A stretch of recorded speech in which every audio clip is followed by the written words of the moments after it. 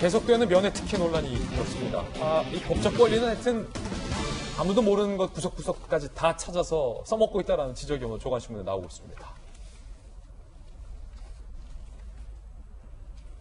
공범 무효에도 면회 10차례를 지금 하고 있고 어, 검찰 조사 다음 날에도 구치소를 찾아서 면회를 했고 교도관이 배석하지 않을 때에도 면회를 허용하고 있다. 또 딸은 정교심 교수 엄마와 화상 면회까지 구치소가 시켜줬다는 거예요. 구치소와 조국 자택이 20분 거리인데 아까 운전기사 대동하든가 하면 뭐가 멀- 멀다고 화상 면회까지 시켜주냐? 어, 이 장거리 재수자를 위한 제도가 원래 화상 면회인데 그거를 지금 활용하고 있다는 거예요.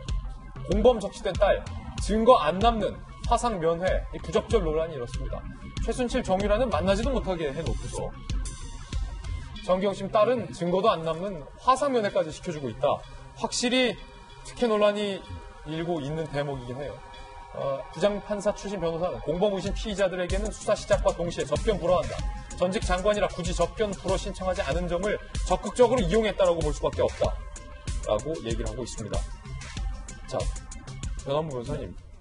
이거는 뭐 이분들을 탓할 게 아니라 구치소 측과 법원 측이 그걸 왜그 허용을 해줘서 이런 논란이 났습니까? 원칙대로 해야지. 그러게요. 검찰은 좀 약간 납득을 할 수 없는 점이 있습니다. 근데 사실 미결수라고 하잖아요. 아직 확정되지 않은 미결수 같은 경우에는 하루에 한 번 일반 접견이 가능하기 때문에 뭐 조국 전 장관이 열 차례 면회했다? 그거는 잘못된 건 아닙니다. 이제 다음 문제가 되는 것은 조국 전 장관과 정경심 교수는 일단 공범 의혹이 상당히 있기 때문에 이 경우에는 접견 제한을 하는 것이 당연한데 불구하고 하지 않았다는 게 문제가 되는 것이고 또한 그 예를 들어서 그럼 이런 의견이 가능하겠죠. 가족인데 어떻게 가족을 접견을 금지하겠느냐라고 얘기를 하게 되는데 조금 중요 피의자 같은 경우에는 공범이 아니어도 변호인과의 접견 외에는 일체의 접견을 금지하는 경우가 많이 있습니다. 예. 종종 있어요. 가족들도 못 보게 합니다. 그러니까 이 사건 같은 경우는 워낙 나라를 들쑤셔 놨었고 또 여지껏 수사가 진행되는 중이고 조사할 것이 많은 상황이기 때문에 조국 전 장관과 정범신 교수의 면회를 금지시킨다고 하더라도 특별히 이상하다고 볼 거는 없어요. 근데도 불구하고 굳이 전 장관이라는 신분이라는 걸 고려해서 검찰이 저 정도까지 하지 않았다라는 것은 지나친 특혜 아니냐라는 것은 분명히 가능할 것 같습니다. 이게 특혜다. 예, 그건 특혜죠.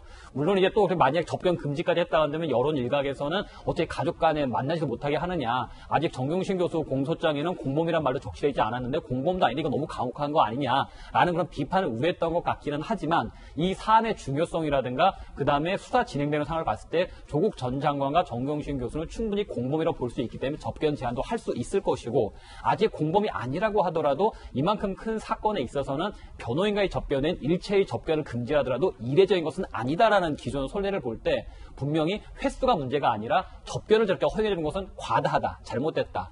다만 이제 우리가 그냥 무기 어, 마녀 사냥처럼 하면 안 되는 것이 딸이 화상 접견했다. 그건 할 수 있다고 생각을 합니다. 음. 사실 딸 같은 경우에 또 그럼 굳이 가는 와중에서 피- 어, 언론인들 만날 수가 있고 불편할 수가 있죠. 그런 경우에는 뭐 굳이 화상 전화를 통해서 화상 내는 것도 가능하기 때문에 저는 그것까지는 특혜다고 얘기하지는 않겠는데 다만 접견 접견 제한을 하지 않았다라는 것은 분명히 특혜고 이건 잘못했다라고 지적을 해야 될 것 같습니다. 그렇군요. 그런가 하면 조국 전 장관의 동생이 이번에는 폐소 공포증을 앓고 있다며 어, 호소를 했습니다.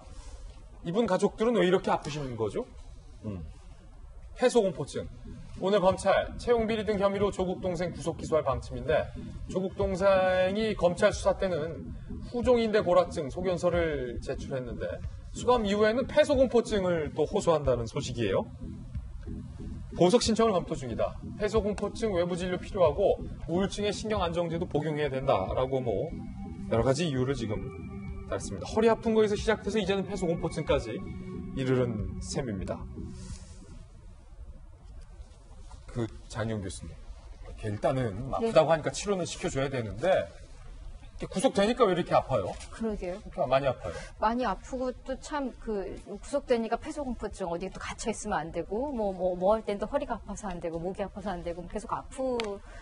그러니까 항상 이거 아프다라는 얘기는 말이 조심스러워요. 실제로 편찮으신 분들일 수도 있으니까요. 인권 문제가 될 수 있고. 근데 지금 너무 공교롭게 너무 많이 아프다 보니까 너무 많이 아파. 양치기 소년 이야기처럼 아, 나도 아파. 아니, 그렇게 그 진짜, 따지면. 그러니까 예. 정말로요. 예. 그러니까 정말 죄송하지만 믿고 싶은데 믿을 수 없는 이런 부분, 의심이 가는 부분은 의심하는 사람을 욕할 수준은 아닌 것 같아요. 굉장히 많이 편찮으시네요. 그리고 저렇게 많이들 가족들이 아픈데 다들 또 사회생활 할 때는 굉장히 이전까지는 뭐 명망 있는 전문직에 뭐, 그뭐 금융 투자업에 여러 가지 일들 또 하셨던 분들이시거든요. 이렇게 많은 질병을 갖고 계신 분들이 어쩜 그렇게 강의도 열심히 하시고 또 사업도 하시고 투자도 하시고 이, 부, 이 부분에 대해서 다 의심이 갈 수도 있어요. 그러니까 제가 지금 약간 비아냥거리는 말씀을 드리기는 했습니다만 다시 말씀드리지만 지금 앵커가 따로 질문을 할 정도로 왜 이렇게 아파요? 이분들 왜 이렇게 아파요? 후종 인대 골화증, 뭐 폐소 공포증, 뭐 우울증, 또 그 들어보지 못한 병들까지 많이 들을 정도라면 지금 이 정도라면 국민들이 지칠 것 같아요. 그래서 오히려 저는 이런 걸 자꾸 보도하는 것보다는 빨리빨리 수사 속도가 진정이 돼서